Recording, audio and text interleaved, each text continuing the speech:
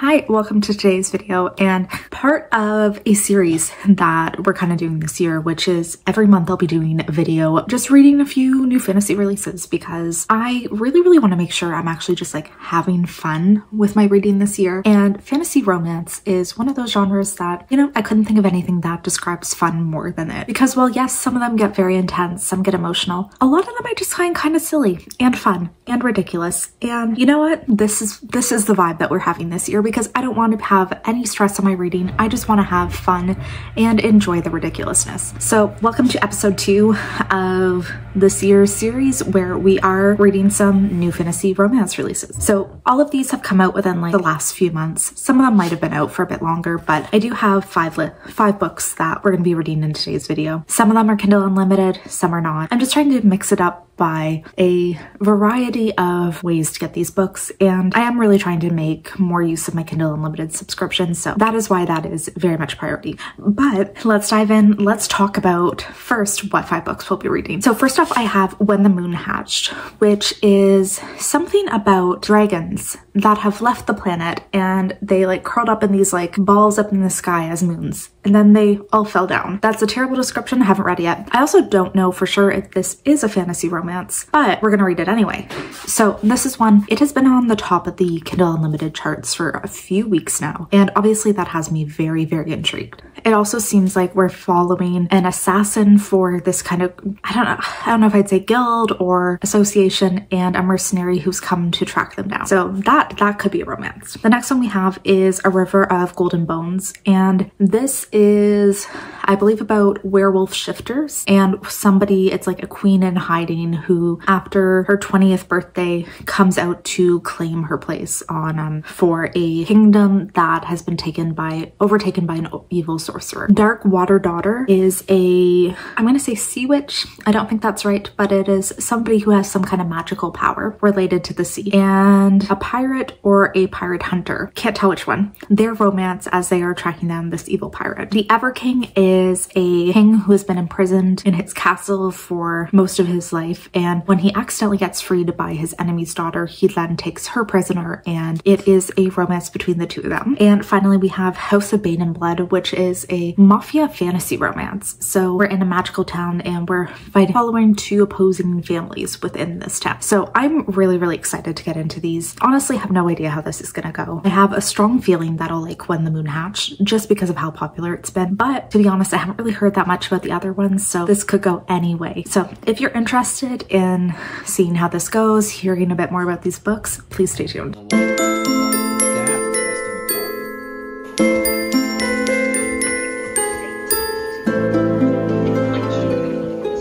So I decided to start with reading A River of Golden Bones. And I'm gonna say like 40-ish percent into it right now and it's only kind of starting to make sense to me. Like it definitely started in a very weird spot and was very, very confusing at first. But in this, we are following twin sisters who are the last heirs to this wolf throne. So we're in a world where the royalty and the rulers of all of the different kingdoms are like wolf shifters and they rule over humans and other magical beings, but there's like huge class divides between humans and shifters and everything. But we're following the two secret heirs who basically, it's been rumored for years that maybe they died, maybe they survived, because the night of their birth, there was this evil sorceress who came into the kingdom and murdered the king and queen. Basically, it was like incredibly covered up that the babies survived. Nobody even knew they were twins. Nobody knew that they lived. So they've spent the last 20 years in this like remote village with their fairy godmother and just waiting until they come of age so they're able to go claim the throne. And part of that too is there is a betrothal to the prince of one of the other kingdoms. So the princesses are golden wolves, he's a silver wolf. They've always been at war. This is going to bring their kingdoms together. And it really took me way too long to kind of piece that together and also come to the realization that this is a Sleeping Beauty retelling because it is very much like evil sorceress Maleficent comes in and like because of that the queen, like the um, royals panic and send their kids into hiding. And there's they live with the fairy godmother and there's like all these things saying that like the sorceress is able to enchant people into a like eternal sleep. And this can only be awoken or these people in these internal sleeps can only be awoken by their true love. So it took me way too long to get to that point where I realized that it was a Sleeping Beauty retelling. And then suddenly things started to make sense. So we in the book are following the perspective of the second sister. So she is the second born and the firstborn is the one who basically has been primed her entire life to become queen. That is her entire purpose basically. She's betrothed to the prince and she has spent her whole life ready to be queen while the younger sister has spent her whole life training to be her guard. And where we're at they are at this like palace with the rival wolves. They're trying to like get things um like set up an agreement and like figure out things out with the king, like, you know, all this stuff. And then the sorceress comes and she puts the older sister under like a magical sleep. And now we're following the younger sister who is trying to go on a mission to awake her sister and defeat this evil sorceress. So honestly, it kind of took to the point that the sister was like sent to a sleep thing that I realized that it was Sleeping Beauty, whatever. so that's where we're at. I don't think I'm really liking this one that much. I don't think it's really that great. The writing isn't that spectacular it's um, interesting per se, but I think the world building is really not great. The character building isn't great, and I don't feel like things are being explained enough. So it is okay so far, but I really would not, I really don't have that strong of feelings or hopes really for how this is gonna go.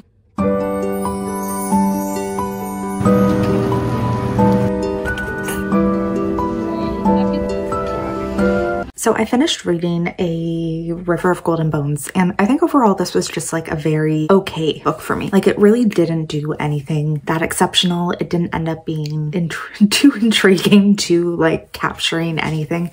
Like it was just very much an okay read. So I'm definitely gonna give this one like a three star where there was nothing overly wrong. Again, like it just, it was a three star. It was an okay book. It wasn't exciting. It wasn't terrible. It was just fine. And like, I'm gonna reiterate again because this is a very common common theme in a lot of books I read where three stars are completely fine. Really, really nothing wrong with them. Just it wasn't necessarily the book for me. And I think the biggest thing, like here, I didn't love the writing and I don't feel like I ever felt any connection towards the characters. I don't feel like they were particularly well developed enough in a way. Like I didn't, yeah, I just didn't feel any connection, any type of like really feeling towards them or anything that like made me want to care more about them. And also in this one, the world building was really I don't think all the way there. And I do think that this is more of like, I think this is going to be a series. So from what I feel is that in other books, this will be developed a lot more. We'll get more of the world and stuff. But in just this initial installation, it just wasn't quite there the way I was hoping it would be. And yeah, I also, I can say that I'm not gonna keep reading in this series because I really didn't care quite enough. Yeah, so writing wasn't great. And also just what I was saying at the beginning that I really, really struggled to realize that this was Sleeping Beauty retelling and really like, I don't know, get a grasp of what was happening. That's definitely like a downside to this book is that it took me that long to really understand exactly what was going on and really get a sense of the plot. Like that's not, that's not a good sign for a book. So it was fine. Just, I wouldn't necessarily recommend this one if you're a fan of this author or like this type of story, maybe, but otherwise it was, it was fine. And I'm going to be starting next on Dark Water Daughter. So I am a little bit into it now and I'm already getting a bad sense of this one too because I'm also not jiving with the writing. So in this one, we're following a storm singer. So we start off by, yeah, we're following a storm singer and she's basically this magical woman who's able to sing to like control control the storms. They've in recent times become kind of like enslaved to ship captains. So if somebody finds out that a woman is a storm singer, they very much just kidnap them and force them to be part of their crew because it's incredibly advantageous for any type of ship to have one like in this world. I'm thinking like kind of Victorian era is the type of um like setting vibe that I'm getting for this world where it's very like There's like um the Queen's um navy. There's pirates. There's pirate hunters, I guess. Like there's all these different people who are out on the sea all combating, all fighting each other. So the Storm Singer is captured after um is captured and she's brought to like an auction where all of these other pirates come and everybody's trying to buy her to bring onto their ship and there is just like a lot of a lot of shit happening. There's so many new, so many random characters coming in. I can't keep track of them. And because all of them are pirates on different ships and they're all fighting different things. And I really, I'm really, really struggling to keep these people all organized in my head. But yeah, so she's on one ship, then she's on another, then she's on another. It's just like stuff like that that I'm really not following very well. And we're following her point of view and also one of a pirate hunter. And I don't really understand why we're following both of them. I don't know what that is leading to, but yeah, so far it's,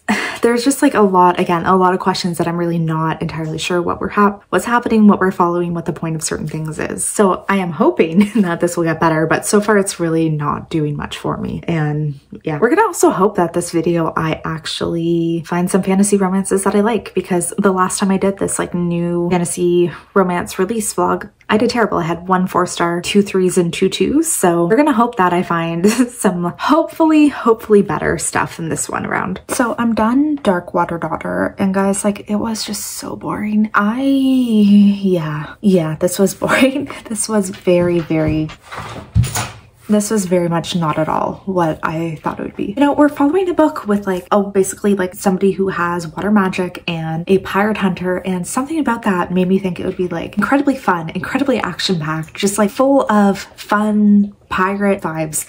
Like I was kind of hoping like Pirates of the Caribbean vibes. Those are fun. Those are super fun movies. But instead this was just so boring. And I think it's just like the action wasn't really described in any way that made it sound interesting. And just like everything it felt like it was resolved very very quickly so there was a lot of things happening but none of them were drawn out enough that you actually like felt the stakes, felt interested, felt like that worry of like, oh, how is it gonna go? And yeah, that just kind of like really, really negatively impacted it for me. And also the characters were just so incredibly two dimensional. Like I don't think I could tell you a single thing interesting thing about what the main character's motivations were aside from like she was trying to stay alive but i know nothing else about her. And same with like our male main character as well. Pretty much know nothing about him. And it just really that obviously impacted me because i want to care about my characters. Like it i can't really get into a book that much if i don't feel anything for them. And yeah they were just placeholders it felt like. So really nothing about this was interesting. Also the lore. The lore was so confusing. So much of this book we're fighting against this one pirate and we're trying to hunt him down and like bring him down and stuff. And there was this confusing lore about something that he's trying to do and I do did not get that at all. I don't think any of it was well explained and yeah, just it didn't didn't do it for me. So you know what? second book, second bad rating. I'm, I am gonna give this a three because I think it's gonna be, it's not quite a two. So it's like a 2.5. We're gonna round up to a three. We're gonna be generous. And it was okay. it was okay. It just wasn't really that good. And yeah, you know, here we are once again being disappointed. Truly my luck for these has been terrible. And for some reason I'm feeling like I'm really reevaluating whether or not I actually like fantasy romance. So but I am feeling, I'm feeling a little more hopeful about our next book, which is in The Ever King, just entirely based on a few of the ratings I've seen. I've seen more than one person talk about it online and just having a few people saying they enjoyed it makes me a little more confident going into it.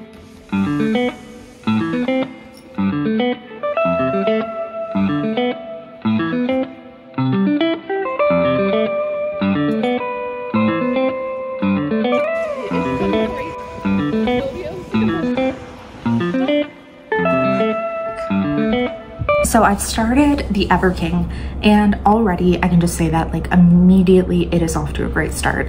I'm just getting like a really, really good vibe. So apparently this author had written like a nine book series before that like goes before this new series but you don't necessarily need to read that one because you do kind of get introduced to this world like all new characters and everything so you don't necessarily have to read that one at first apparently but now I'm kind of intrigued to go back to it just because I am really liking this world. But we're following the princess of this one fake kingdom who has I guess her parents had been at war. So she is the princess of this fake kingdom and her parents had been at war for I don't know years against this other kingdom and they had won. And the son of the king, of the old king, has basically vowed revenge on the um, this kingdom. Like he has vowed that he's going to find a way to make them suffer and stuff. So they had a connection. The two, this princess and new king, they apparently had met when they were children and there was some backstory where she gave him kindness and he she was the only person who ever did. And it kind of led to this like connection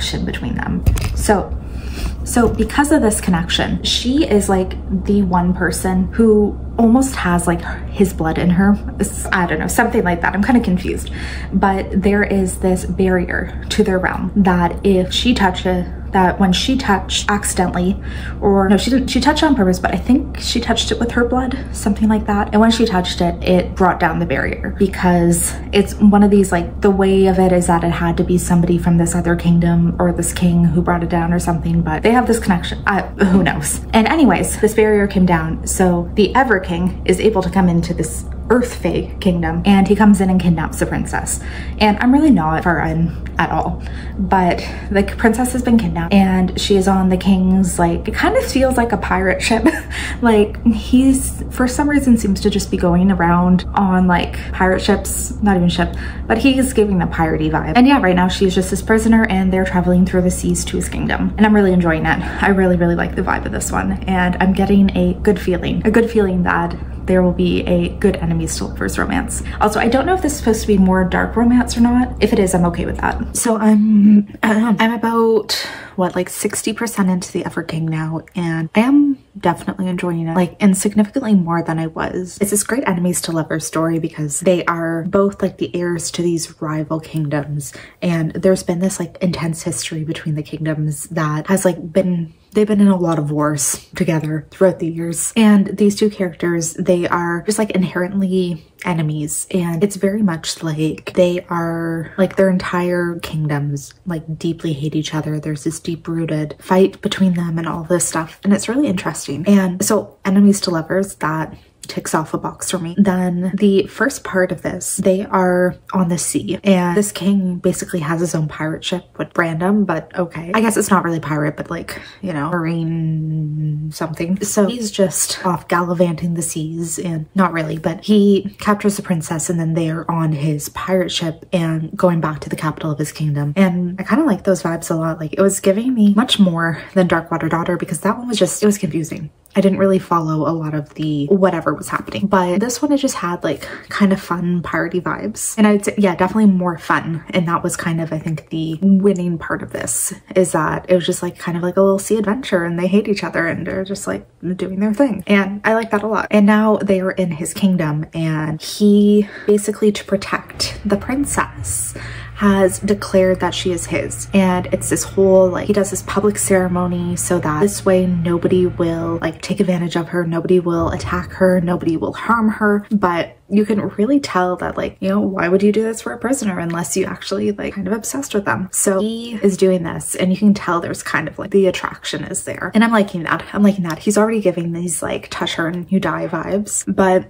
so my only thing that I'm going to complain about is that I thought this was going to be a bit of a darker romance and like it has so many things that I really really like. I just wish that it really got into this like you know captor captive hatred a little bit more. I think that would have worked a little bit better so far for me and I hope maybe maybe we do in later part because so far they just seem to be very much vibing with each other and very happy and like just kind of like you know I'm still your prisoner but but you're not a terrible person and like let me find a way to get our kingdoms to work together. So I kind of wish there was just like a little bit more hatred, tension, something, but I'm definitely enjoying this a lot. Okay, so I finished Dark Water Daughter. Nope, I finished The Ever King. Okay, so I finished The Ever King and I like this a lot.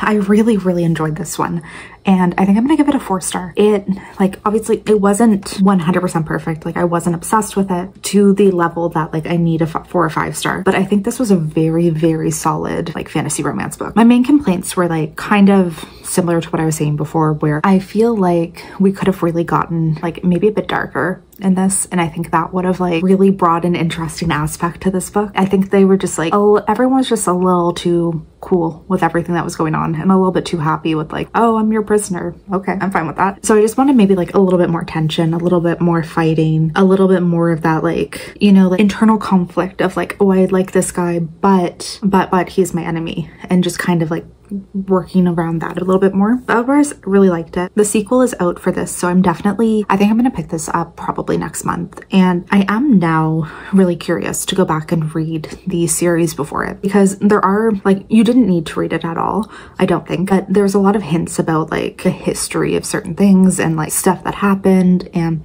all of these characters, like the older generation are talked about, which I'm assuming is what that series follows. So I kind of really do want to go back and read that maybe and take a look and see because yeah, this was pretty good. And the world was interesting because it has like, so the earth fae is where our princess is from. And then I can't remember the name, but it's a different type of fae. so there's like really this like earth magic versus, I think it's the ever, it's the ever kingdom, but I can't remember what they called their fae, but they have like different types of magic, different like associations, different, like just very different things that are natural within their kingdom, I guess. And it would be really interesting to see a lot more of that history because I am guessing that they dive so much more into it into the other series. So I do think I'm gonna pick that up and yeah, pretty happy with that. So we're gonna give this one a four star. I think that pretty great. If you like the enemies to lovers, if you like captor captive, a little, a little bit of that fae stuff, like it worked. It worked for me for sure and feeling pretty good. I feel like this, just the fact that I actually have a four star read again is making me very happy. And I feel like this is already making this video go off on a better note than it did the last time I did this. So this is good. This is great. We, let's keep these energy, let's keep this energy and these vibes going for the next two books. Hi, we have many things to discuss. Actually just two, but we have things to discuss. So, you know, I was feeling really, really good about this video. The last read was a four star. I was feeling like, you know, we've hit our stride. We are starting to get somewhere. And then I started to read When the Moon Hatched and it was not it. I really did not like it. Like to the point that I have unfortunately DNF'd it. I'll just share that I have my little buddy with me as always. Um, but yeah, I got 40-ish percent in and could not could not keep going. So this is a fantasy world where it was like really really complex and poorly explained but there were all of these moons in the sky and all of these moons are like a dragon that is in its egg or something and they fall down to earth and hatch and there's a step. So we are following in the story a young woman who she's part of this guild and I would kind of say like a mercenary. Like she does these missions. Um, sometimes they involve killing people sometimes other other stuff but it sounds like she's pretty much like a mercenary for hire. And she gets captured by the law and brought into this plot and there's this whole thing where one of the kings of one of the kingdoms gets involved and basically rescues her. And from there she where I left off they were going off on an adventure together to do something. And I just really really couldn't get into it. I felt like the writing just everything was very poorly explained. And this is a world that has like a deep lore a deep mythology all of this stuff. And none of it was explained to the point that like like I could actually really know what was happening. Like there's all these gods, there's all these like God-given magics, all of this stuff. And the only way I was kind of following even like remotely was looking at the glossary. And like, I don't want to, I don't want that. I want to be able to actually understand through the book itself. Okay, he is, there's a tiny spot that he has to sit next to. Yeah, so like I wanted things actually to be explained within the book and it just wasn't at all. So, and yeah, couldn't follow it, couldn't care about the characters. It really seemed like it was going to be leading up up to like a romance between the, this king and our female main character. And like where I was leading off, things were starting to get spicy and it was just like kind of from nowhere. Like there's major, major enemies to lovers vibes, but just there was no buildups and that's something that I really need. It just felt kind of out of nowhere, kind of uninteresting and I didn't want to keep going. I could already tell that like even just this much of the book, I was dragging my feet to get through and really, really like not wanting to read. So I was having a bad feeling about going forward and didn't want to do it. So unfortunately this one's a DNF, which doesn't feel great. And especially seeing that it's like, it's number one on the Kindle Unlimited store and has been for a bit now. So I feel like I am the one who's missing something. I am the one who is like uh, who's just like not clicking and maybe it is for a bunch of other people, but yeah, not for me. And then after that, I have started House of Bane and Blood, which will be the last book for this video. And this one, it is like being set up as a Peaky Blinders retelling, kind of like a mafia romance in a fantasy-esque world. So I'll just straight up say I've never seen Peaky Blinders, so that means nothing to me. But I, and I also haven't really read that many mafia romances, so that is also something that maybe I can't necessarily compare this to. But where we're setting off is we're following this one woman and her family. They are, they own this railroad that I think can controls like a bunch of the imports, exports of this like island that they live on. And then we're following, our mailman character is basically the head of like this crime family. That's kind of the vibe I'm getting. His family has magic, hers doesn't, but they are kind of like the head of like the underground something and they're this really like dangerous family but so this agreement comes into place for them to get married and they are their families have pretty much set it up where this agreement they'll get married and it like is benefiting because her family is very broke at the moment and his family wants access to this railroad. So they're both benefiting quite a bit. But it is like major major enemies to lovers major like marriage of convenience thing and i'm enjoying it so far. It's definitely like an interesting kind of urban urban-esque fantasy story. I'm just really interested in the magic, the characters, like everything that's going on, which feels like a really good sign. It's just, I'm just really interested in it. The characters themselves, they seem interesting enough. And yeah, it's just like a cool world. I'm enjoying this one quite a bit so far. I do have a really good feeling that it will be interesting. So I'm gonna keep going on this one, but yeah, I'm getting a really good feeling so far, which is always great. So we have one very big thing to talk about now, which is that I finished House of Bane and Blood. And kind of like I was saying previously,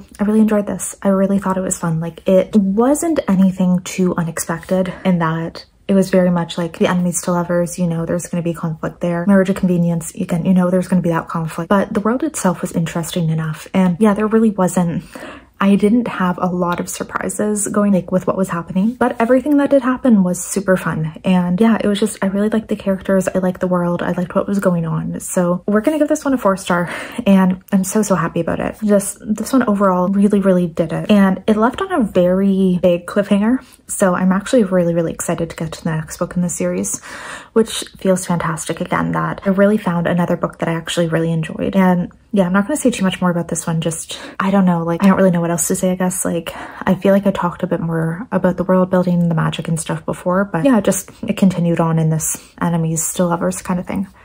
So with that, I think, unless I'm mistaken, we have four or three four-star reads out of this video. I think so. I think so, which feels amazing. Feels so, so good. Definitely a lot better than the last time I did one of these new fantasy romance release videos because I think that one I came out with like mostly three and two stars. So this one's fantastic. Again, one DNF, but I'm fine with that. And I really don't understand, like I'm seeing so many people who have loved When the Moon Hatched online and I just, I don't get it. I don't get it at all. I don't, I don't see why people would be that into it. It just, it did nothing for me. So I don't know. But yeah, definitely that one was not for me. And I'm super excited to continue on with the series for some of these. Like The Ever King, the sequel, The Ever Queen is out right now. So I'm probably going to get to that pretty soon. And then yeah, as soon as the sequel to House of and Blood comes out, I'm grabbing that right away. So this was incredibly successful and I'm just so, so happy with how this went. So thank you for sitting here and watching all of this with me. Um, if you haven't already, I'd love if you would consider subscribing, liking this video, and hopefully I will see you in the next one.